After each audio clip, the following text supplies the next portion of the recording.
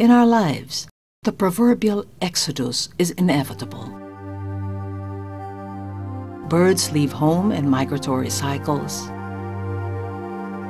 Beasts cross vast landscapes to new frontiers. Humans succumb to wanderlust, our primal nature to see beyond our known horizons.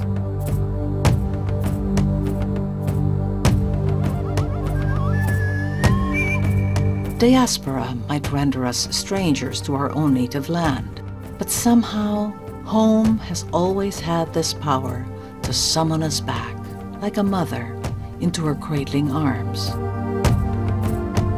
Here in the northwestern valley of the majestic Cordilleras, the gongs are sounded, signaling the return of the mountain's sons and daughters. All dreams, all praises, all roads lead back to the land of their ancestors, Abra. Pilgrims riding the modern homebound caravan have never had it so good. Paved highways make traveling relatively breezier, and the province is reached after an eight-hour ride from Manila. Centuries ago, the only way to penetrate the crags surrounding the valley was through the silent yet imposing river, crisscrossing the rugged landscape. The river opened up the Rocky Mountains to nomads and intruders alike, and with this all-important role, it was named the Abra River, a derivative of the Spanish word abrir, which means to open. The river, in turn, lent its identity to the land that bows to its powerful presence.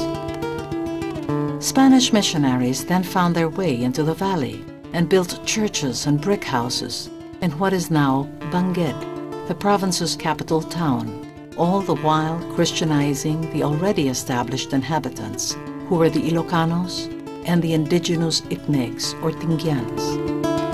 Relations between the Spaniards and the locals grew tighter. Intermarriage became a common occurrence. One distinguished descendant of these interracial unions was Gabriela Silang. Popular knowledge paints her as a resident of Vigan in the Ilocos.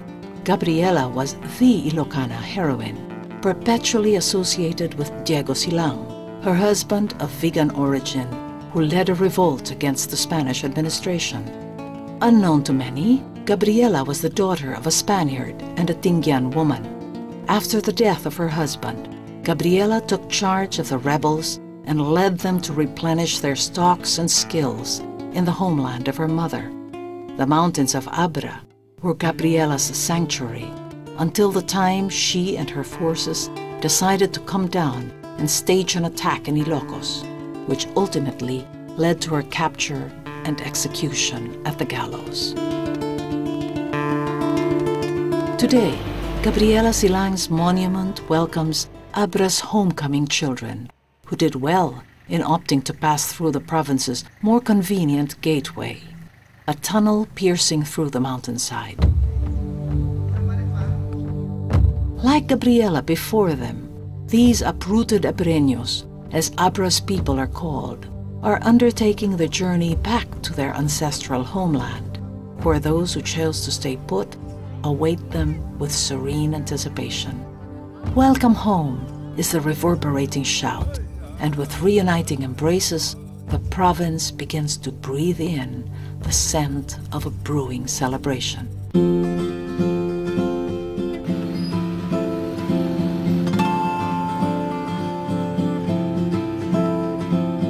Abra's sun is quick to retire behind mountains enclosing the valley.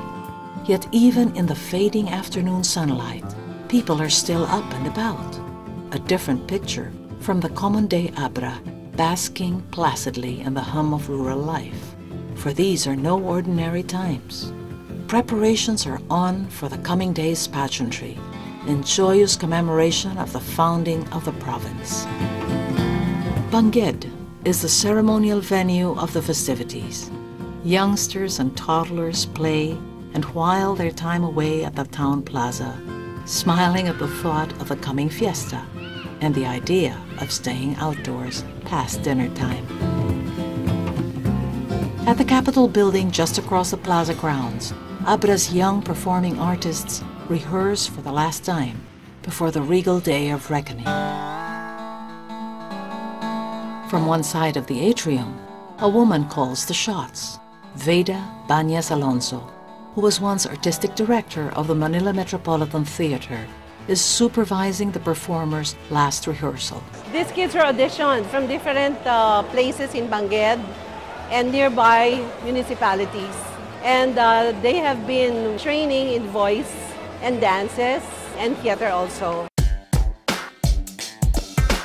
Veda is an Abreña with Ilocano ancestry. Yet, she is but one member of the homecoming flock, paying homage to the land of her blood relations. My parents were born and uh, raised in Abra. My mom and my dad left for Manila and we grew up there until uh, we came back a few years ago, about the, the 90s, that's when I came back to Abra. And then I helped with the cultural presentations and the fiestas of Abra. We are entertaining a lot of visitors from all over the world, Abreños from all over the world, who come home every fiesta. It's traditional for them to come home every fiesta, so we are trying to put up entertainment numbers and um, Ilocano songs and dances for nostalgia purposes. While Veda busies herself fixing the performer's blocking, her best friend is stationed nearby, watching the rehearsals. Christina Chong, fondly known as Gang, is not even from Abra, but she considers this blessed valley her second home. I'm a very good friend of Veda. I come from San Francisco, California, and I'm here as her guest.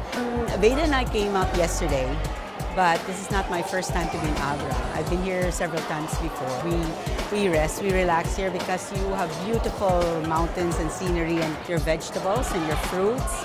Ay nako, we veg. The mountains have undoubtedly endowed the people well. All across Abra's landscape grows a host of important crops that give the people sustenance and livelihood. Sugarcane, corn, tobacco, bamboo, achuete, mangoes. Every town boasts of its own specialty product, and this is one significant concept at the forefront of the upcoming festival. On a well-lighted street west of the Capitol building, several high school students are deeply immersed in their own exercise. This is their final practice for the inter-municipality street dance competition. These students are representing the capital town. They are fresh out of their performance two weeks before for Bangued's own fiesta, the Dapil Festival, where sugarcane, the town's main product, was in focus. Their costumes, coming as no surprise, are stylized renditions of the sugar cane. We have been rehearsing for almost two weeks now. The rehearsals are so tough for the kids. We have to do the rehearsals every night until 10 o'clock in the evening, especially that we had so many affairs before this. So we had to do overtime. The children don't seem to mind, for they are enthusiastically bent on bringing honor to their hometown and so are the other young Abreños.